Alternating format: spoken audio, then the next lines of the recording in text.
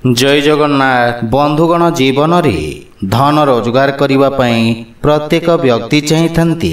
କିନ୍ତୁ କେବେ କେବେ କଠିନ ପରିଶ୍ରମ କରିବା ପରେ ମଧ୍ୟ ଟଙ୍କା ରୋଜଗାର କରିପାରନ୍ତି ନାହିଁ। ସବୁବେଳେ ଅର୍ଥର ଅଭାବ ଲାଗି ରହିଥାଏ ଯାହାଫଳରେ ସେମାନେ ଚିନ୍ତିତ ରହିଥାନ୍ତି ଏବଂ ଆର୍ଥିକ ସମସ୍ୟାର ପ୍ରଭାବ ଦୈନନ୍ଦିନ ଜୀବନ ଉପରେ ମଧ୍ୟ ଦେଖିବାକୁ ମିଳିଥାଏ। କିନ୍ତୁ ଏମିତି କିଛି ସମୟ ଏବେ କିଛି ରାଶିର ଜାତକଙ୍କ ଜୀବନରେ ଶେଷ ହେବାକୁ ଯାଉଛି। ଏହି ଛଅଟି ରାଶିର ଜାତକ ଧନରେ ମାଲାମାଲ ହେବାକୁ ଯାଉଛନ୍ତି। ଏହି ଜୁନ୍ ମାସ ହିନ୍ଦୁ ଧର୍ମରେ ବହୁତ ପବିତ୍ର ଏବଂ ଶୁଭ ମନାଯାଏ। ଗ୍ରହ ନକ୍ଷତ୍ରଙ୍କ ରାଶି ପରିବର୍ତ୍ତନ କିଛି ରାଶିମାନଙ୍କ ଉପରେ ଶୁଭ ପ୍ରଭାବ ପକାଇବ ଏବଂ ଭାଗ୍ୟର ପରିବର୍ତ୍ତନ ହେବ। ତ ଆସନ୍ତୁ ଜାଣିବା ସେହି ଭାଗ୍ୟଶାଳୀ ଛଅ ଗୋଟି ରାଶିମାନଙ୍କ ବିଷୟରେ। ସେଥିପାଇଁ ଭିଡ଼ିଓକୁ ଶେଷ ପର୍ଯ୍ୟନ୍ତ ଦେଖନ୍ତୁ ଓ ଯେଉଁମାନେ ଆମ ଚ୍ୟାନେଲକୁ ନୂଆ କରି ଆସିଛନ୍ତି ତଳେ ଥିବା ଲାଲ ରଙ୍ଗର ସବସ୍କ୍ରାଇବ୍ ବଟନକୁ ଦବାଇ ଆମ ଚ୍ୟାନେଲକୁ ସବସ୍କ୍ରାଇବ୍ କରନ୍ତୁ ଓ ପାଖରେ ଥିବା ଘଣ୍ଟି ବଟନକୁ ଦବାଇ ଅଲ୍ରେ ସିଲେକ୍ଟ କରନ୍ତୁ। କାହିଁକି ନା ଆମେ ଅପଲୋଡ଼ କରିଥିବା ପ୍ରତ୍ୟେକ ଭିଡ଼ିଓର ନୋଟିଫିକେସନ୍ ଆପଣ ସର୍ବପ୍ରଥମେ ପାଇପାରିବେ। ବନ୍ଧୁଗଣ ପ୍ରଥମ ରାଶି ହେଲା ମେଷ ରାଶି ମେଷ ରାଶିର ବ୍ୟକ୍ତିଙ୍କ ପାଇଁ ଏହି ଜୁନ୍ ମାସଟି କିଛି ସକାରାତ୍ମକ ପରିଣାମ ପ୍ରଦାନ କରିବ। ଏହି ସମୟ ଉତ୍ସାହ ଆନନ୍ଦ ଏବଂ ଖୁସି ଖବରରେ ଭରି ରହିବ।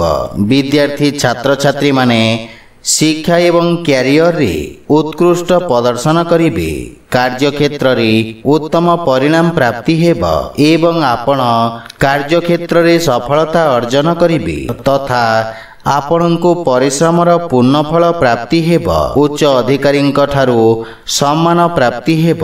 ବାଣିଜ୍ୟ ବ୍ୟବସାୟ କ୍ଷେତ୍ର ଏବଂ ଚାକିରି କ୍ଷେତ୍ରରେ ଉନ୍ନତିର ଯୋଗ ରହିଛି। ତଥା ନୂଆ ନୂଆ ଅବସର ପ୍ରାପ୍ତି ହେବ। ଶନି ଲାଭ ଭାବରେ ଉପସ୍ଥିତି ରହିବା କାରଣରୁ ଏହି ସମୟରେ କାର୍ଯ୍ୟକ୍ଷେତ୍ରରେ ଆପଣ ଅଧିକ ଧନ ଲାଭ ପାଇବେ। ଧନର ବର୍ଷା ହେବା ସହିତ ପାରିବାରିକ ଜୀବନ ଉତ୍ତମ ରହିବ ଏବଂ ସ୍ୱାମୀ ସ୍ତ୍ରୀ ପରସ୍ପରର ଭାବନାକୁ ବୁଝିବାକୁ ଚେଷ୍ଟା କରିବେ। ଗୃହକୁ ଅତିଥିଙ୍କ ଆଗମନ ଲାଗି ରହିବ। ଏବଂ ପୁରୁଣା ସ୍ୱାସ୍ଥ୍ୟ ସମସ୍ୟାରୁ ମଧ୍ୟ ମୁକ୍ତି ମିଳିବ। ଦ୍ୱିତୀୟ ରାଶି ହେଲା କନ୍ୟା ରାଶି। ଏହି ରାଶିର ବ୍ୟକ୍ତିମାନଙ୍କ ପାଇଁ ମାସଟି ଉତ୍ତମ ପରିଣାମ ନେଇକି ଆସିବ।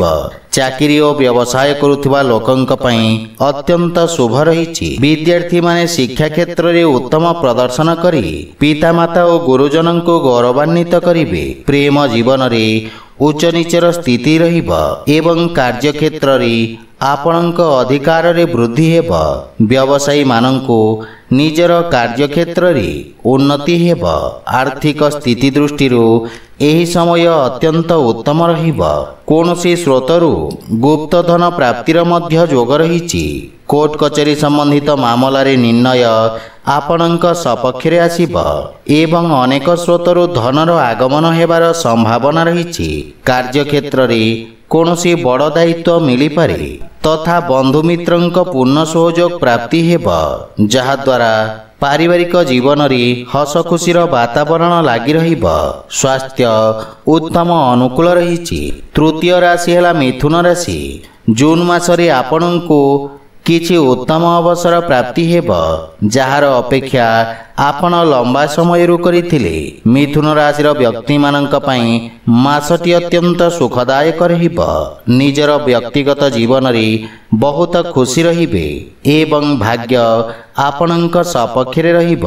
ଆପଣ ନିଜର ସମସ୍ତ କାର୍ଯ୍ୟରେ ସଫଳତା ଅର୍ଜନ କରିବେ। ଚାକିରି କ୍ଷେତ୍ରରେ ପଦୋନ୍ନତିର ଯୋଗ ରହିଛି ଏବଂ ଚାକିରି ଖୋଜୁଥିବା ବ୍ୟକ୍ତିଙ୍କ ମନସ୍କାମନା ପୂରଣ ହେବ। ବିଦ୍ୟାର୍ଥୀମାନଙ୍କ ପାଇଁ ଏହା ଉତ୍ତମ ସମୟ ଅଟେ ତଥା ଆପଣଙ୍କ ଜ୍ଞାନରେ ବୃଦ୍ଧି ହେବ। କାର୍ଯ୍ୟକ୍ଷେତ୍ରରେ ଆସୁଥିବା ବାଧାବିଘ୍ନ ଦୂର କରିବାରେ ଆପଣ ସକ୍ଷମ ହେବେ। ଆର୍ଥିକ ସ୍ଥିତି କ୍ଷେତ୍ରରେ ଉନ୍ନତି ହେବ ବୈବାହିକ ଦାମ୍ପତ୍ୟ ଜୀବନ ସୁଖମୟ ହେବ ଏବଂ ଜୀବନସାଥୀଙ୍କ ପୂର୍ଣ୍ଣ ସହଯୋଗ ପ୍ରାପ୍ତି ହେବ। ଚତୁର୍ଥ ରାଶି ହେଲା ତୁଳା ରାଶି ଏହି ରାଶିର ବ୍ୟକ୍ତିମାନଙ୍କ ପାଇଁ ମାସଟି ଅତ୍ୟନ୍ତ ଶୁଭ ଫଳ ପ୍ରଦାନ କରିବ। ତଥା ପୂର୍ବରୁ ଲାଗି ରହିଥିବା ସମସ୍ୟା ଗୁଡ଼ିକ ଏବେ ଦୂର ହେବାକୁ ଲାଗିବ ଏବଂ ଆପଣ ନିଜର ସମସ୍ତ କାର୍ଯ୍ୟକୁ ସହଜରେ ପୂର୍ଣ୍ଣ କରିବେ। ସମାଜରେ ଆପଣଙ୍କ ମାନ ସମ୍ମାନ ଓ ପଦ ପ୍ରତିଷ୍ଠାରେ ବୃଦ୍ଧି ଘଟିବ। କାର୍ଯ୍ୟକ୍ଷେତ୍ରରେ ଉଚ୍ଚ ଅଧିକାରୀ ଓ ସହକର୍ମୀଙ୍କ ସମର୍ଥନ ପ୍ରାପ୍ତି ହେବ। ସନ୍ତାନ ପକ୍ଷରୁ ମଧ୍ୟ ସୁଖଦ ସମାଚାର ପ୍ରାପ୍ତି ହେବ ଏବଂ ପାରିବାରିକ କଳହକୁ ନେଇ ଯଦି କୌଣସି ପୁରୁଣା ବିବାଦ ଥାଏ ତାହା ଏବେ ଦୂର ହେବାକୁ ଲାଗିବ। ବୈବାହିକ ଜୀବନରେ ସାମାନ୍ୟ କିଛି ସମସ୍ୟା ଦେଖାଦେଇପାରେ କିନ୍ତୁ ପ୍ରେମୀମାନଙ୍କ ପାଇଁ ମାସଟି ଉତ୍ତମ ଅନୁକୂଳ ରହିଛି। ସ୍ୱାସ୍ଥ୍ୟ ଉତ୍ତମ ଅନୁକୂଳ ରହିବ। ପଞ୍ଚମ ରାଶି ହେଲା ମକର ରାଶି। ମକର ରାଶିର ବ୍ୟକ୍ତିଙ୍କ ପାଇଁ ମାସଟି ସକାରାତ୍ମକ ସିଦ୍ଧ ହେବ। ଆପଣଙ୍କୁ ଉଚ୍ଚ ଅଧିକାରୀଙ୍କ ପାଖରୁ ସମ୍ମାନ ମିଳିବ। ପ୍ରେମ ଜୀବନ ଏବଂ ବୈବାହିକ ଜୀବନ ଆନନ୍ଦରେ ଭରି ରହିବ। କ୍ୟାରିୟର ଦୃଷ୍ଟିରୁ ମାସଟି ଉତ୍ତମ ଅନୁକୂଳ ରହିଛି। ତଥା ଆପଣ କାର୍ଯ୍ୟକ୍ଷେତ୍ରରେ ଉର୍ଜାବାନ ଅନୁଭବ କରିବେ।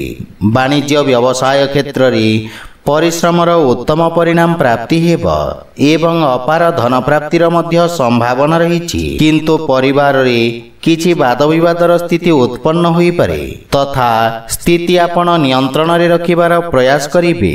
ବୈବାହିକ ଦାମ୍ପତ୍ୟ ଜୀବନ ସୁଖମୟ ହେବ। ସ୍ୱାସ୍ଥ୍ୟ ଦୃଷ୍ଟିରୁ ମାସଟି ସାମାନ୍ୟ ରହିବ।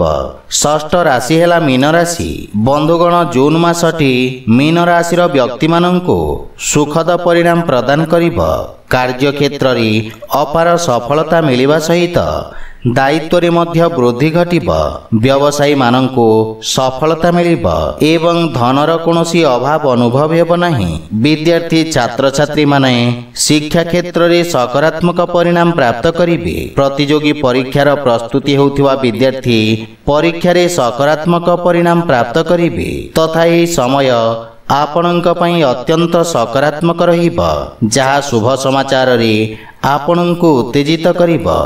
ଆର୍ଥିକ ସ୍ଥିତି ଦୃଷ୍ଟିରୁ ସମୟ ଉତ୍ତମ ଅନୁକୂଳ ରହିଛି ତ ବନ୍ଧୁଗଣ ଏହା ଥିଲା ଜୁନ୍ ମାସର ଛଅଟି ଭାଗ୍ୟଶାଳୀ ରାଶି ବିଷୟରେ। ଯଦି ଭିଡ଼ିଓଟି ଆପଣମାନଙ୍କୁ ଭଲ ଲାଗିଥାଏ ଲାଇକ୍ ସେୟାର ଓ କମେଣ୍ଟ କରି ଜଣାନ୍ତୁ ଏବଂ ଆମ ଚ୍ୟାନେଲକୁ ସବସ୍କ୍ରାଇବ୍ କରନ୍ତୁ। ଜୟ ଜଗନ୍ନାଥ।